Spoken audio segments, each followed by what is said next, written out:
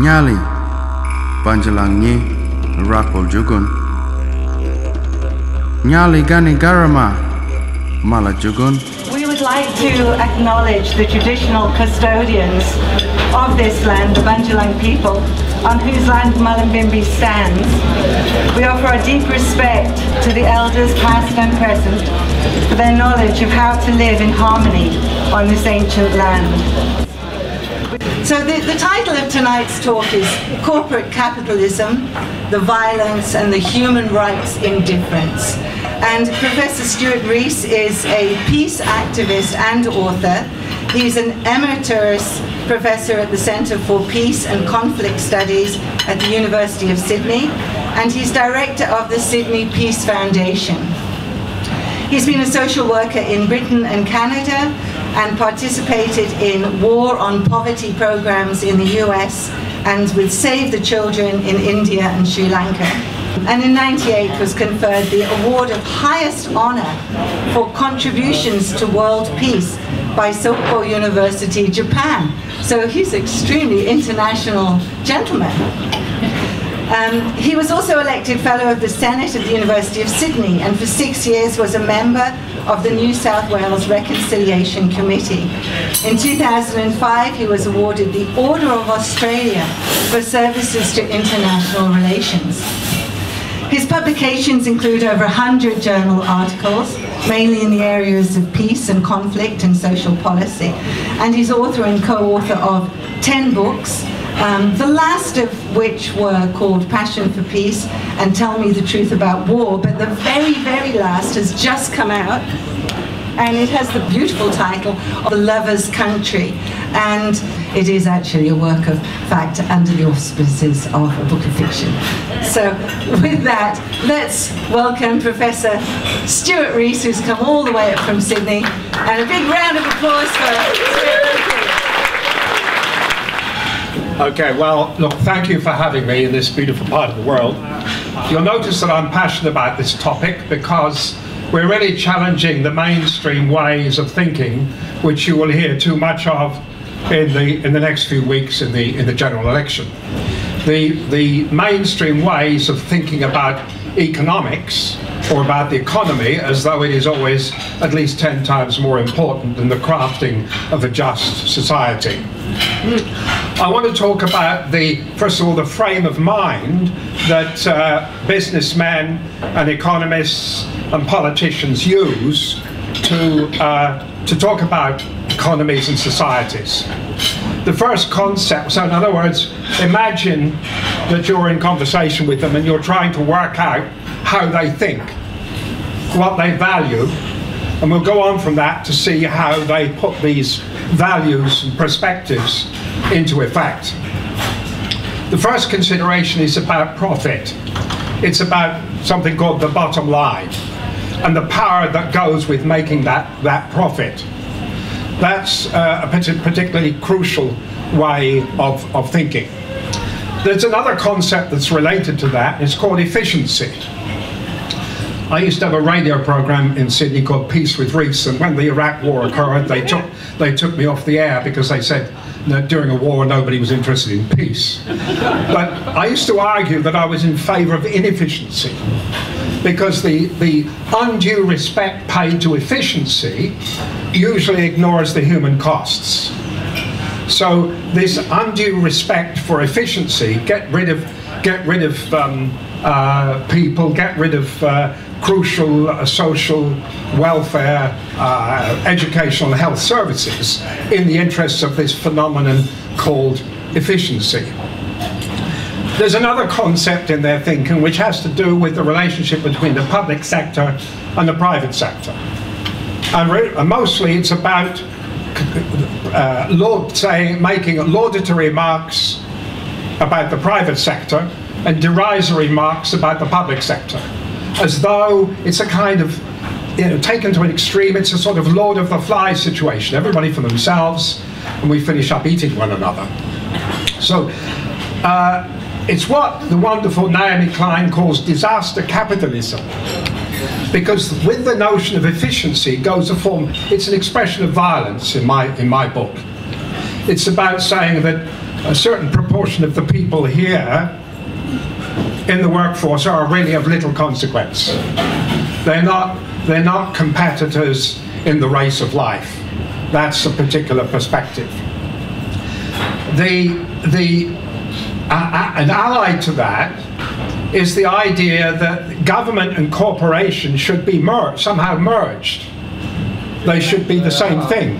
It's, it's, it's, uh, uh, uh, thank you for that contribution from the floor. Um, uh, it's as though you can see that in massive projects around Sydney at the moment. I'm not so familiar with Queensland, but uh, the WestConnex um, road complex system is about companies uh, managing government. In fact, the idea is that uh, is that uh, we need to governments need to be efficient, sufficiently efficient to imitate the alleged best characteristics of companies. In fact, the argument goes that companies should be a great deal more powerful and influential than governments.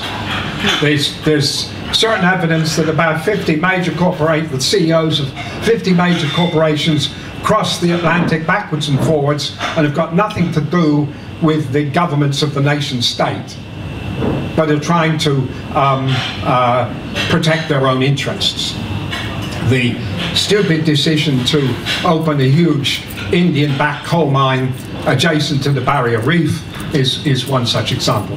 So there's the, there's the, the, the, these are the perspectives. This is the frame of mind that is being used to influence the policies. The second question then becomes, how do they put it into effect? And everybody in this audience is going to be pr pretty familiar with the concept of uh, privatization. When in doubt, privatize the public sector on the grounds that it will be more efficient. Get, sell it off. Even Keating's appalling decision to flog off the Commonwealth Bank was in a way the start, the start of that process, although it had started before. The second uh, uh, concept is about deregulating the corporate sector. Means, look, we don't need any regulations. We can, we can inspect ourselves. I mean, Reagan started it when he deregulated the aircraft. The, the, the um, regulations about um, fly, rules for flying in America so they could police themselves.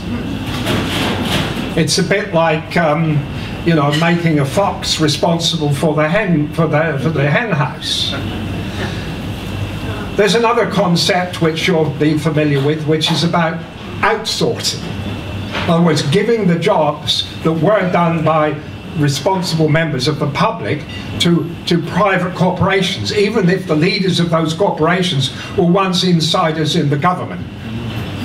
And you can see that in particular in the privatization of prisons, the privatization of detention centres, the privatization of the electricity industry, and the privatization of water where uh, we didn't need Richard Hill's brilliant article in a recent edition of New Matilda to know that the Panama Papers, remember those of you who've got um, who've got bank accounts in the Virgin Islands, look, are there, are there people, yeah, we're all perhaps oh, three people, sorry, three people, three people in the front row have got accounts in the Virgin Islands.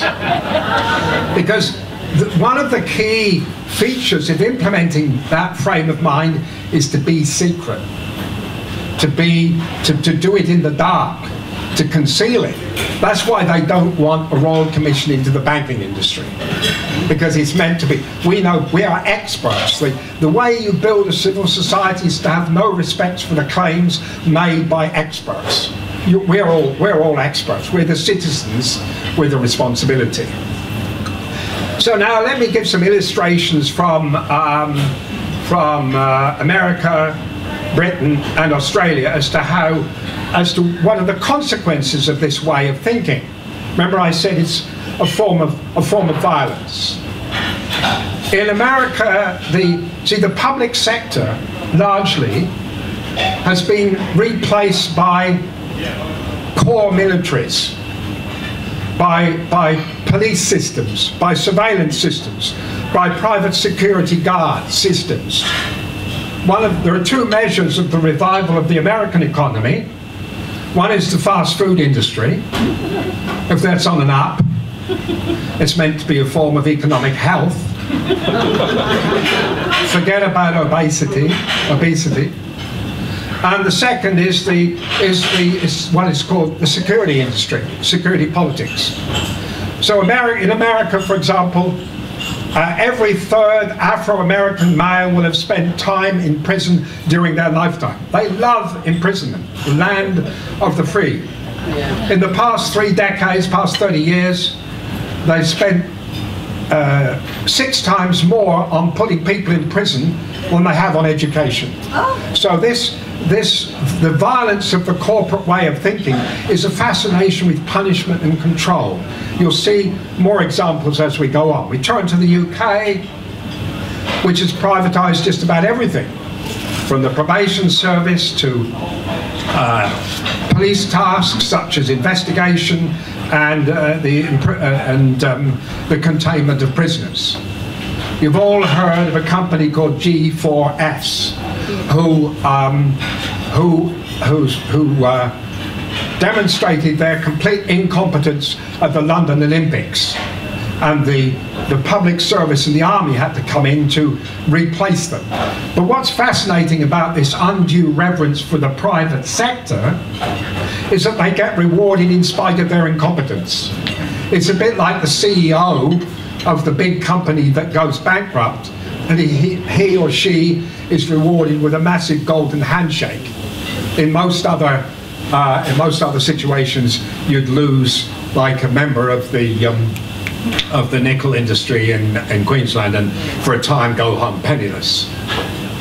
So the the G4S demonstrates its incompetence but gets rewarded. And we love G4S in this country. Let's quick flip to quick flip to uh, to Australia, where we've privatised we the the all the detention centres, not just the ones on Manus Island and Nauru. Tony Abbott gave 244 million to um, to G4S to run Manus Island and Nauru. Invisible, if you remember, what was it called? Opera, Operation Sovereign Borders. Remember the wretched uh, Morrison had had to sit behind, beside uh, an army chief and pretend that they were efficient and the, the rest of us didn't need to know. It was in what they were, the turning back the boats was, was an expression of violence, but it was invisible. Trust us, trust me, was the, was the claim. 244 million to G4S, who proved to be to, to be abusing prisoners. So they transferred the responsibility to um, Transfield and paid them 1.4 billion dollars to run Manus Island and, and Nauru. Transfield has subsequently um, uh, subcontracted to Wilson Wilson Security Industries Incorporated, who were named in the Panama Papers and who are guilty of the abuses of um, uh, the most vulnerable, some of the most vulnerable people in the world.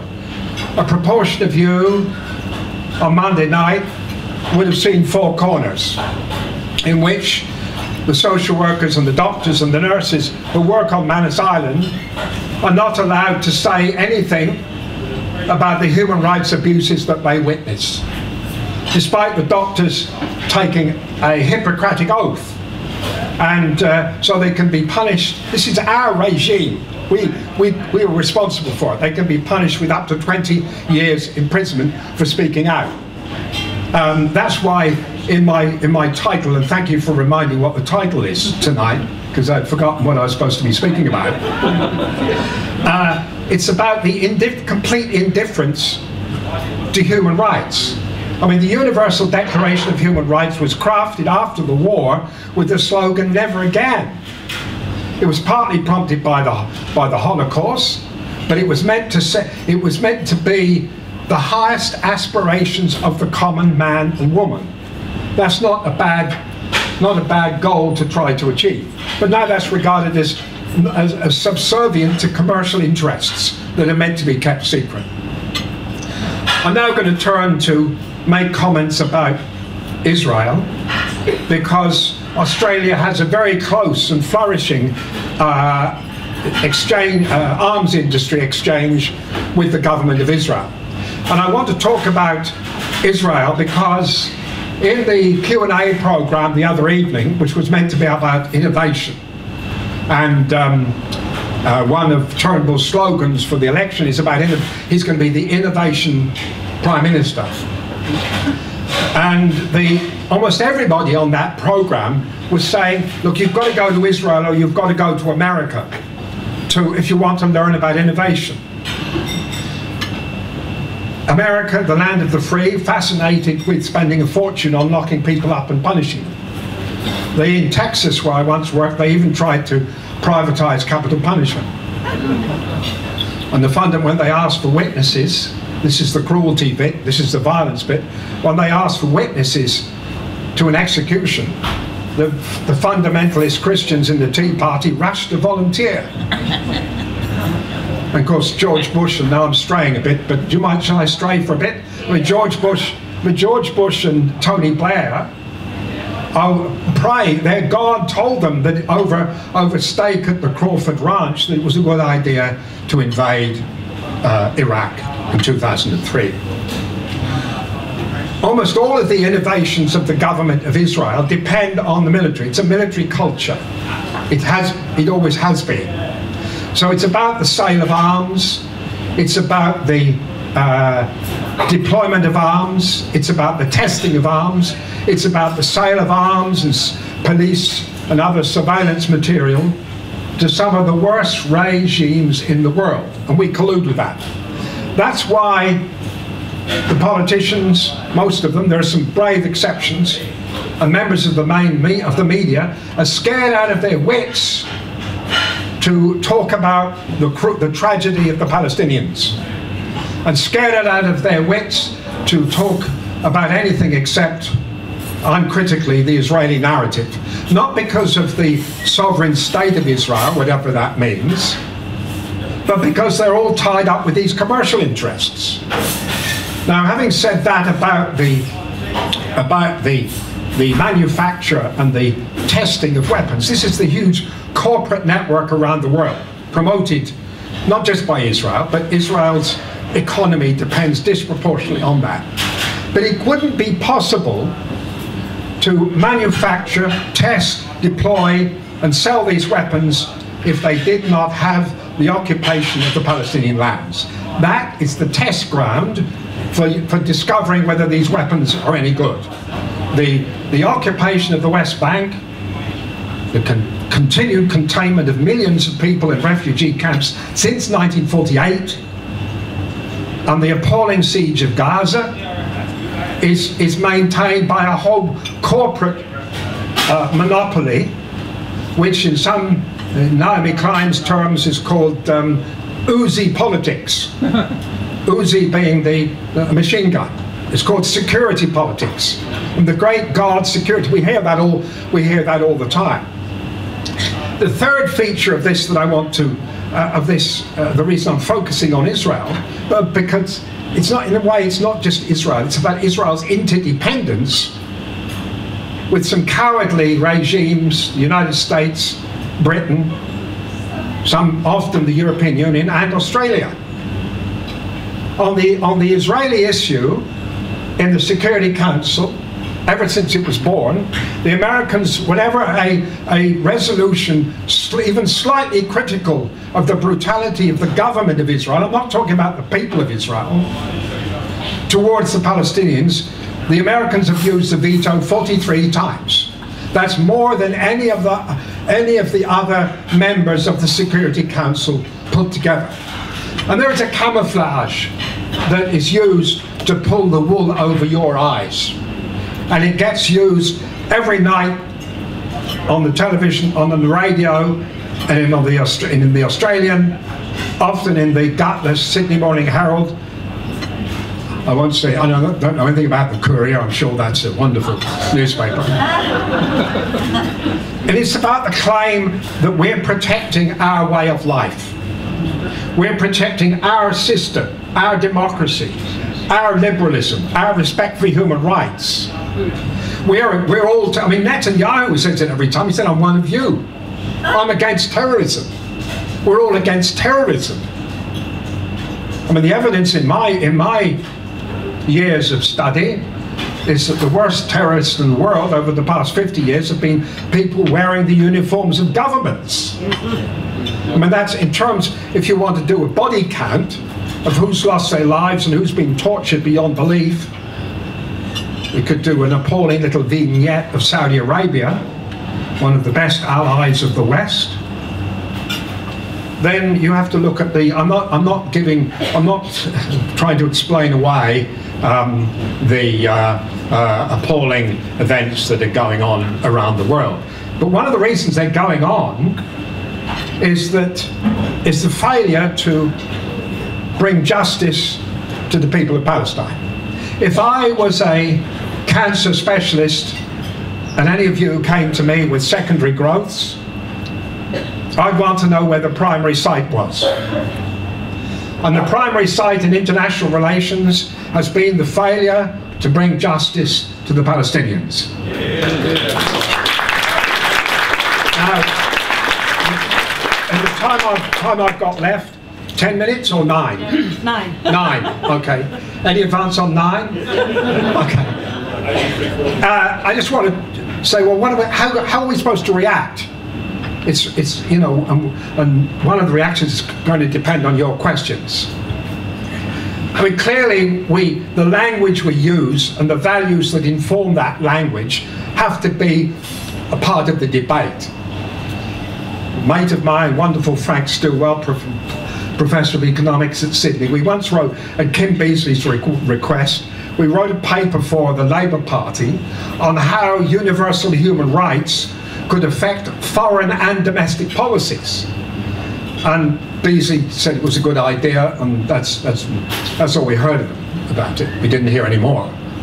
But clearly, we have to talk about the values inherent in those documents, in the Geneva Convention, in the rules of international law. You know, when those, when those Russian airplanes flew over the over the American aircraft carrier, Julie Bishop and others were jumping up and down saying this is an abrogation of international law, beating our chests. But when it comes to the Israelis stealing more and more Palestinian land, she says she doesn't know what, what international law prohibits it. So there's an exception to the rule. My question is why this is not about the abolition of the state of Israel, because in my view, the, um, justice for the Palestinians would have been the best form of security for the Israelis. Instead of a massive investment in punishment and control and arms and incessant killing, in particular of the people of Gaza. So we have to use that language. We have to, I think, question what is meant by sovereignty. I think some of the sovereignty about, you know, Operation Sovereign Borders. Who the hell cares? when a pandemic could could could uh, would wouldn't respect any borders, and when when the the key moral issue of the age, one of the key moral issues, the destruction of a fragile but precious environment, knows no respect of borders. So we have to we have to think differently about the sovereignty of all peoples and all living things. Not this, not spending fifty billion dollars on submarines. Yeah. I want to. I, I want to finish with, in a way, a commercial. But I, I, I wrote this book because um, in 2002, 2003, there was a murder in East Jerusalem and a massacre in the refugee camp in Jenin. And the United Nations, nobody was allowed to investigate. Uh, Kofi Annan was the Secretary General of the United Nations. The UN were not allowed to go in a friend of mine or somebody I somebody who's become a great friend, a brilliant, powerful, articulate Palestinian leader, Dr. Hanan Ashrawi, a, a Christian in the Muslim world, a woman in a man's world, um, knew about these events. And so Australia had only one international prize for peace at that time, uh, the, the Sydney Peace Prize, and we decided to award her the Sydney Peace Prize. In the previous six years, we had had great people winning the prize, nobody batted an eyelid. People like uh, Archbishop Tutu, Professor Muhammad Yunus, Sir William Deane, people, you it was consensus. doesn't consensus change nothing. And at that time, we had about a quarter of a million dollars. This is about the, the financial dimension. We were paid by seven of the biggest companies in Australia Rio Tinto, um, uh, Publishing Broadcasting Limited, uh, the National Australia Bank, um, uh, Citibank, Citigroup, which was the biggest bank in the world at that time. They paid us between fifteen and twenty thousand dollars a year to put our logo on their material, so that they will feel morally good. But when we awarded the Peace Prize to a Palestinian, all hell was let loose. Um, uh, death threats, uh, hate mail by the by the volume. I was shouted at by leading barristers at the Sydney Bar. Why didn't you give the prize to Saddam Hussein? Is what they told me. Uh, I was told that uh, if I didn't stop her from coming, we would lose all of a quarter of a million dollars. Everything you've ever worked for, you will lose. And I remember Robert Fisk, the wonderful, the wonderful journal, journalist for the Independent who lives in Beirut, writing that the that that particularly powerful lobby are at it again, and these people in Australia will be crushed in the same way that everybody else has been. And um, I had one friend in that, one particular friend in that dispute, and it was a guy called Alan Ramsay, who was the brilliant political journalist of the of the Sydney Morning Herald, the most gutsy, the most gutsy political journalist I've come across since I've been living in this country, and. Um, uh, every time I was told, I got phone calls saying, "You've got to give up on this. You must be nuts. You're going to lose everything." And I said, "I'm. If we, I don't care if we only have one cent left. You can't. If we give way on this, we will stand for nothing." And um, and uh, in the end, I. I was so appalled by what was going on. I had federal police protection for three months uh, that I recorded one of the conversations and I didn't know what was going to happen to me. I gave it to Ramsay and said, look, I don't know how you're going to use this, but uh, you might you might want to give some illustrations from this conversation from the um, the uh, the chair of the foundation who was trying to make me give up. I don't know how you're going to use this, but you keep quiet about it. But here it is. And the next Saturday, I was down the coast in my home, and the phone went very early in the morning, and a mate of mine said, Christ, Stuart, I know you've got balls, but it's all over the Sydney Morning Herald. He'd printed the whole lot, the whole, the whole of this conversation.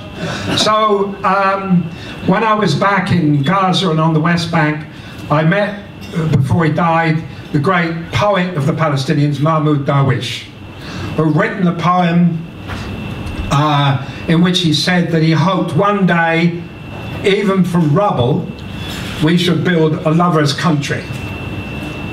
And um, what a brilliant concept. So, to in total contrast with some of the things that concern with prisons, with police surveillance, with drone, with the manufacture of drones, let alone the payment of submarines. So here's the book. It's a reveal all now. It's entirely in fiction, but the libel lawyers have, re have read it carefully. Um, and I'm happy to reveal who's who in question time.